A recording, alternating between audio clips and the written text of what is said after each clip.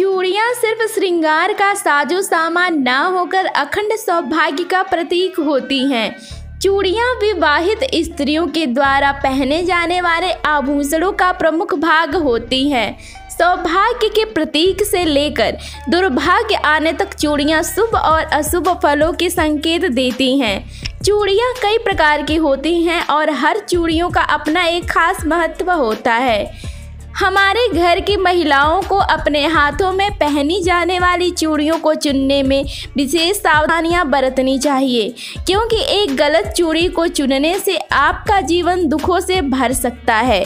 क्योंकि सोने में कलयुग का वास होता है और हाथों से ही औरतें ज़्यादातर घरेलू काम करती हैं, इसलिए विवाह के बाद स्त्रियों को हाथों में सोने की चूड़ियों को पहनने की सलाह नहीं दी जाती है, बल्कि उन्हें कांच की चूड़ी चूड़ियों को पहनने की सलाह दी जाती है। लोग ऐसा मानते हैं कि जो महिलाएँ कांच की चूड़ियाँ पहनती हैं तो इससे उनके पति और बच्चों का स्वास्थ्य बेहतर होता है। वैज्ञानिक ऐसा मानते हैं कि चूड़ियाँ अपने आसपास के वातावरण और परिवार के स्वास्थ्य पर भी प्रभाव डालती हैं। ऐसी बातें रिसर्च में पता चली हैं कि कांच की चूड़ियाँ वातावरण में से नकारात्मक ऊर्जा को सोख लेती हैं और वे हाथों के विभिन्न भागों पर एक अलग सा दबाव डालती हैं, जिससे उनका स्वास्थ्य बेहतर रहता है। अब आपने चूड़ियों के फायदों को तो जान लिया लेकिन अब हम आपको ऐसी बातें बताने जा रहे हैं जिसे सुनकर आप हैरान हो जाएँगे। लोग ऐसा मानते हैं कि टूटी फूटी दरार वाली चूड़ियाँ महिलाओं के लिए एक अशुभ संकेत लेकर आती हैं।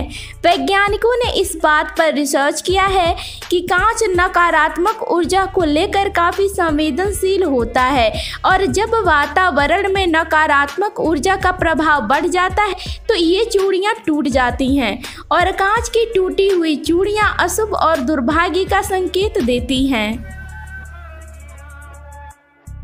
एक्सपर्ट्स ऐसा सुझाव देते हैं कि जब चूड़ियाँ टूट जाती हैं तो उन्हें तुरंत निकाल कर फेंक देना चाहिए। अगर महिलाएँ टूटी चूड़ियों को अपने हाथों से निकाल कर नहीं फेंकती हैं तो पूरे परिवार पर मुसीबतों का साया आ जाता है और परिवार के सदस्यों का स्वास्थ्य धीरे धीरे गिरने लगता है। तो आप हमारी बताई गई इन बातों पर अमल ज़रूर करें।